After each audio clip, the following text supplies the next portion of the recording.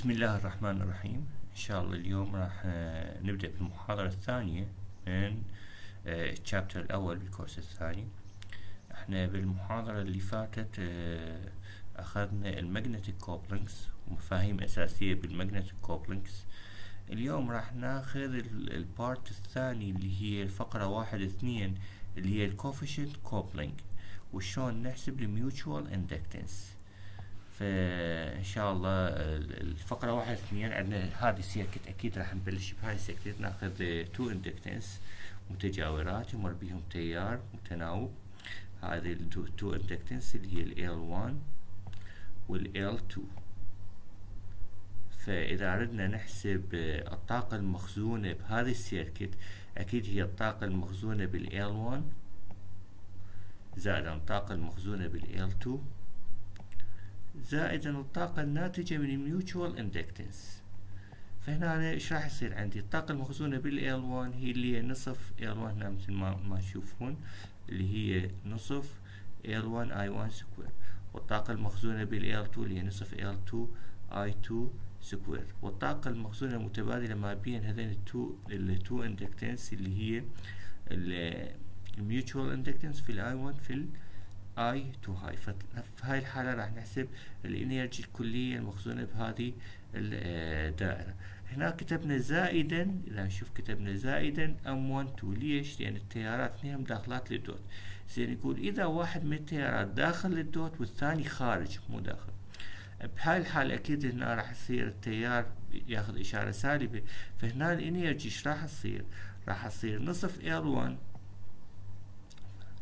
نصف L1 I1 square زائد نصف L2 I2 square ناقصا هاي فد شي كلش مهم ناقصا M1 2 I1 I2 هنا راح تصير معناها العلاقة العامة لل energy المخزونة بال circuit هي عبارة عن نصف L1 I1 square زائدا نصف L2 I2 square حتى يصير قانون عام حطينا زائد ناقص اعتمادا على التيارات إذا اثنينهم داخلين لل dot أو واحد منهم داخل ال dot والثاني خارج من ال dot في ال M 1 I 1 I 2 بس عندنا شو يقول؟ يقول يقول ال energy المخزونة بالدائرة لازم دائما شو تكون؟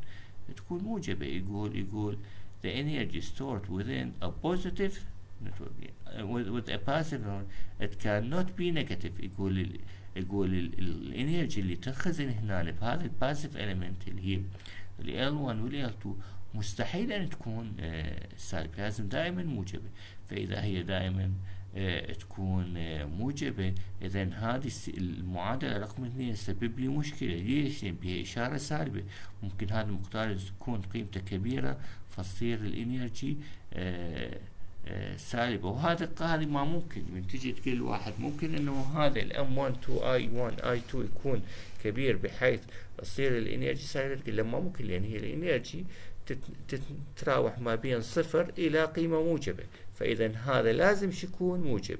M 1 2 I 1 I 2 لازم يكون أقل من هذا المقدار اللي هو نصف L1 I1 square زائدا نصف L2 I2 square إذا راح نشتغل على هذا المقدار اللي هو اللي هو هنا اللي هو ال energy شنو تساوي؟ نصف L1 I1 square زائد نصف L2 I2 square ناقصا M1 I1 2 فإذا هذا المقدار لازم دائما يكون؟ يكون كله موجب حتى تتحقق قاعدة إنه إنه الطاقة دائما تكون قيمتها موجبة.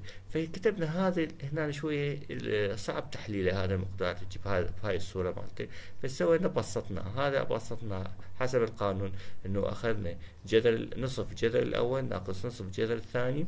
الكل سكوير زائدا جذر الأول في جذر الثاني. فطلع عندي شنو؟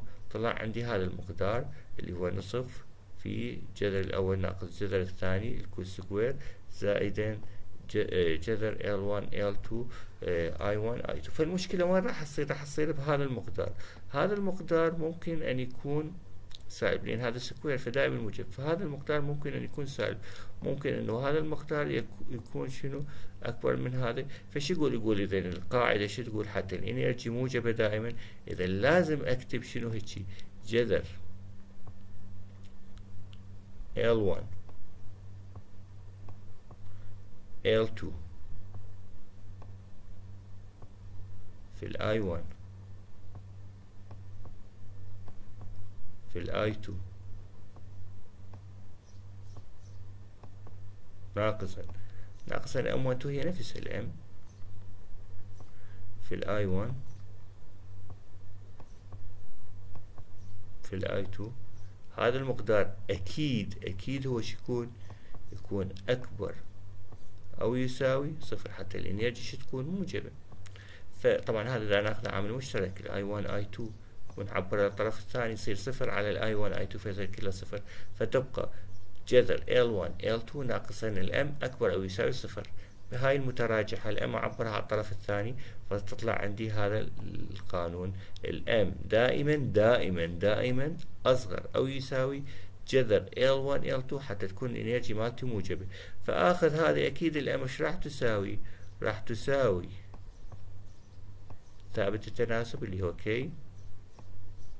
مضروب في الجذر L1 L2 هذا ثابت التناسب إيش راح نسميه؟ راح نسميه ال coupling coefficient هو هذا ال coupling coefficient يعني اللي هو يساوي M على جذر L1 L2 وش يقول؟ يقول هذا المقدار دائما قيمته اللي هو ال coupling coefficient دائما قيمته بين الصفر والواحد. إذا كان قيمته بين الصفر والواحد فأكيد هذا المقدار اللي قلنا عليه جذر L1 L2 I1 I2 ناقصا M12 I1 I2 دائما يكون موجب. بهاي الحالة راح تكون energy موجبة في القدرة المقسومة بالدائرة دائما تكون؟ تكون موجبة. إذا إيش راح يصير عندي أنا هنا؟ آه هسه راح ناخذ مثال حتى نتعلم شلون إحنا نحسب ال mutual inductance وشلون نستخدمها بال circuit فعندي هاي ال circuit بها محاثات اثنين متجاورة اللي هي L1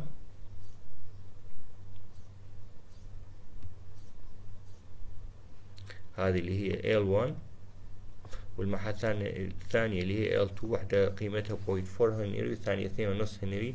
وعندي مطيني ال coupling coefficient اللي هو 0.6 ومطيني التيار ال I 2 يساوي ربع التيار I 1 وال I 1 اللي هو قيمته 20 cosine 500 t ناقصا 20 درجة ملي أمبير. بزاوية طور ناقص 20 درجة. زين يقول لك أوجد ال V1 of 0 ال V1 of 0 سهلة. شنو تساوي؟ تساوي حسب القانون. هذا ماخذيه قانون اللي هي L1 di1 by dt زائد ال mutual inductance في di2 by dt طبعا ليش خلينا زائد؟ لأن هنا التيارات اثنينهم جاي يدخلون على ال dot. زين. هسه أنا شنو موجود؟ عندي ال I 1 وعندي الاي 2 وعندي L 1 بس الام ما ما أعرفها. شلون أحسب ال M ال M يساوي قلنا استونا اشتقينا القانون مالته K في جذر L 1 L 2 عندي الكي اللي هو 0.6 وعندي L 1 و L 2 فراح أحسب قيمة ال mutual inductance اللي هو 0.6 أرجع أعوضهم وين؟ بالقانون. ال L هي 0.4 مطيني إياها ال I1 مطيني إياها اللي هي 20 في cosine t ناقصا 20 درجة بس هو يقول di by dt إذا لازم أشتقها وأعوض بمكان ال t صفر. فتطلع عندي ناقصا 10 sine ناقص 20 درجة زائدا الثانية نفس نفس مشتقة ال I 1 بس أضربها في 0.25 لأن ربعها فيطلع هذا الناتج.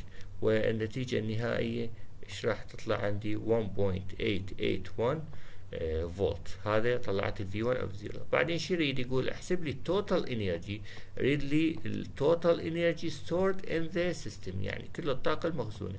بما أن التيارات اثنينهم داخلين فاخذ أكيد ال W of t شو تساوي؟ نصف L1 I1 of t زائد نصف L2 I2 of t زائد M12 في ال I1 I2 of t بس هو يمتى يريدها عند الزمن صفر يعني الاومي دبليو اوف صفر.